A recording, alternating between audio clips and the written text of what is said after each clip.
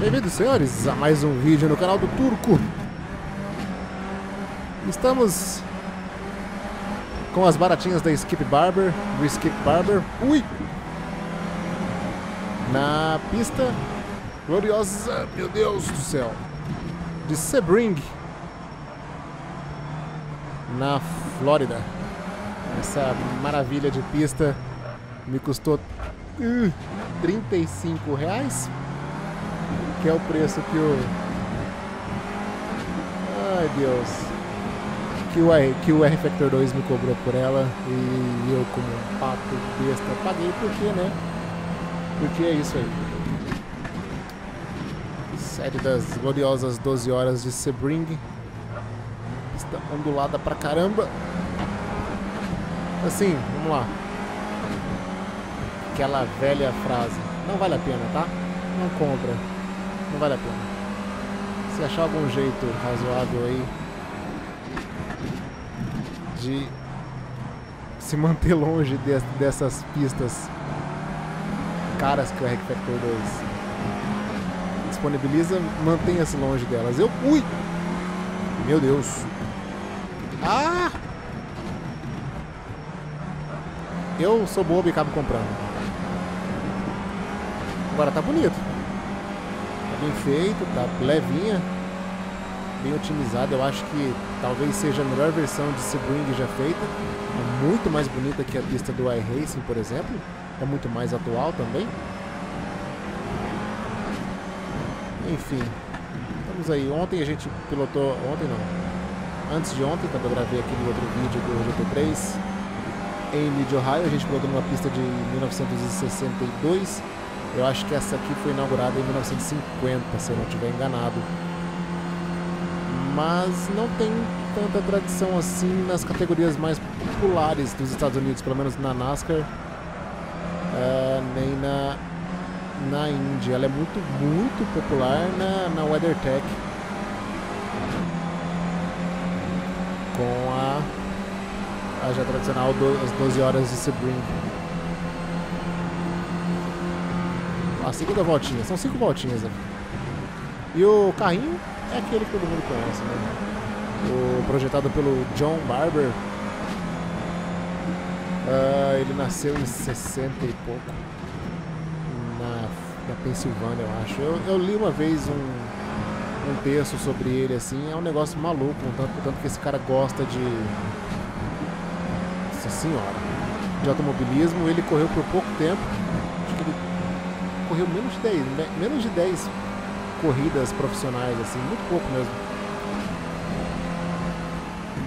Correu na Fórmula 1 na, na, nos anos 70 e tal, mas ele fez o nome dele mesmo, senhora, com esses carros aqui e depois apoio, em apoio a com em conjunto com a Mazda, ele também teve bastante sucesso nessas categorias de base.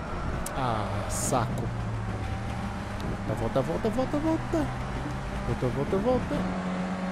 Caramba. É...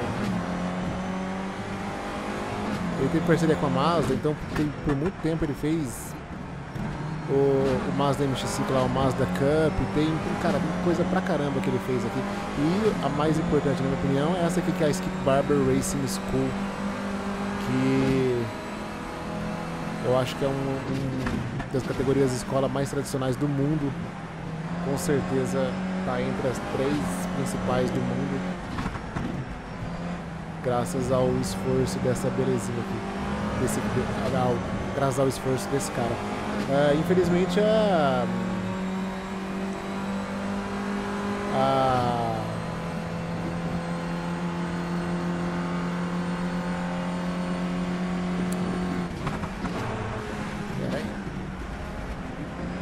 A Skip Barber, do jeito que, que a gente conhece hoje, foi vendida, eu acho que em 2017, pela para alguma coisa Motorsport, de, Le Monde Motorsport, Le Monde Motorsport, não sei direito. Uh, mas, enfim. Coisas da vida. Eu acho que ela ainda continua existindo de alguma forma, mas não dessa maneira aqui. O, uh, a Skip Barber Racing School, ela, ela pediu falência, eu acho, em 2017. Eu lembro de ler alguma coisa disso no, no motorsport.com. Ai meu Deus do céu, passando. E infelizmente. Ah, sabe como que é? O automobilismo não está numa época muito boa. A gente pra primeira. Eu não gosto de reduzir pra primeira, cara. Quando o carro é muito lento, assim que me obriga a reduzir pra primeira marcha pra ter, ter mais torque. É, dá uma, uma, uma aflição, parece que o carro vai rodar ou que vai estourar o motor.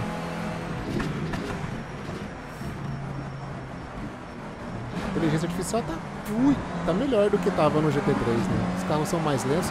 Eu tirei um pouco da agressividade também, tô com... Nossa! Vai, deixa eu só falar. É também assim, nada demais aqui. Uma tretinha dessa aqui pode muito bem acontecer. Uma corrida, aliás, o que mais acontece em corridas online. Uh, tá em 96% a dificuldade e a agressividade está em 20%. Naquele GT3 lá que eu corri na, antes de ontem, estava em 35%. Nossa, mas é muito, tem muito bump, cara. Impressionante.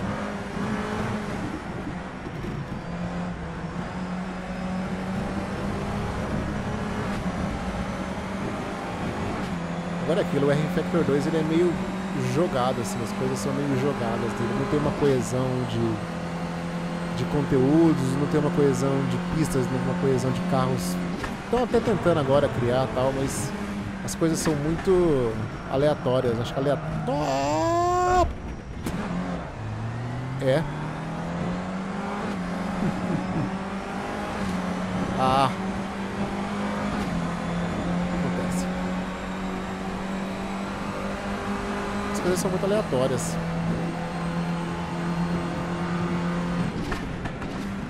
2, meu Deus do céu. Nossa, que distracionada linda. A não devia ter esterçado tanto ali, assim, acho que eu tive que corrigir demais. Tentar chegar nesse maluco da frente aí. o carro tá mais lento de reta do que eles.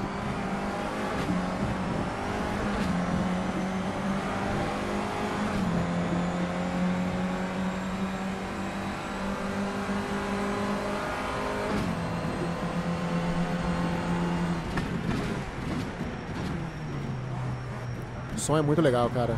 O conteúdo é muito bom, tanto do carro quanto da pista. A pista é espetacular. Não vale a pena, né? Vamos ser sinceros aqui. Uh, é, mas é o mesmo preço mais ou menos que o iRacing cobra pelas pistas deles também. Então, se eu pago pelo, pro, pro iRacing, foda que assim, uh, você compra Sebring pro iRacing, você compra Sebring pro, pro Race Room, aí você compra Sebring pro R-Factor 2, Assetto Corsa não tem, mas não é difícil também. Se bem que os conteúdos do Assetto Corsa sempre foram muito mais baratos. Sempre vieram mais coisas pelo que a gente paga. Preciso dar esse lado positivo do Acetão. Então que tem o, o Competizione lançando, eu acho que em setembro, hein? Essa parte aqui é muito legal. Fora pra fazer a tomada, eu não fiz direito, mas vocês entenderam. Uh, meu Deus do céu, volta, volta! Ah! Caramba!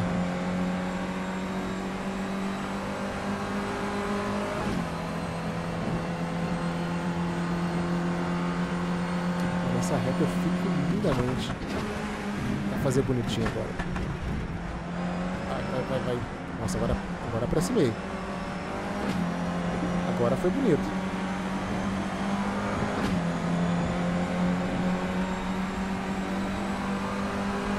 Última volta. Para manter a terceira marcha aqui. Isso, ó, muito mais suave, muito mais eficiente.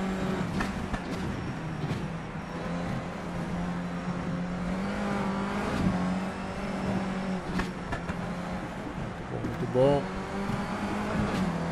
eu conseguir pegar o vácuo dele aqui nessa reta e não perder tanto tempo, eu acho que na parte de mais, de mais curvas eu consigo chegar. Vamos ver.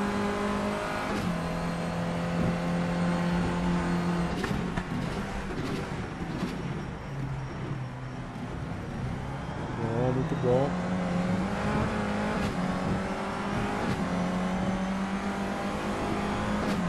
Tentar não errar ali.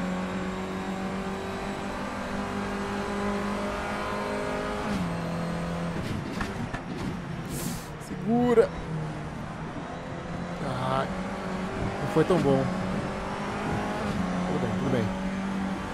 Mais uma curva para a direita agora, depois vamos entrar naquela sequência de S's ali.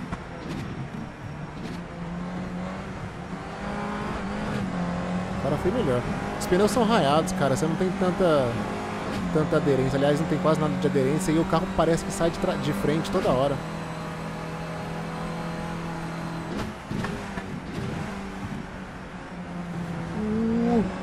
Fui bem, fui bem. Ó, vai ser agora, hein? Precisa acertar essa curva. Vai. Vai, vai, vai, vai, vai, vai, vai, vai. Vai, vai, vai, vai, vai. Vamos, querido. Vamos. Ah. Cara, vai ser agora. Uh. Passei, passei, passei. Uh. ganhei, ganhei não, passei, passei, não ganhei nada, mas passei ele. uh. muito bom, cara, muito legal. É isso aí, senhores, espero que tenham gostado desse videozinho. A gente se vê nos próximos, beleza? Uh, muito bom. Falou, pessoal. Tchau, tchau.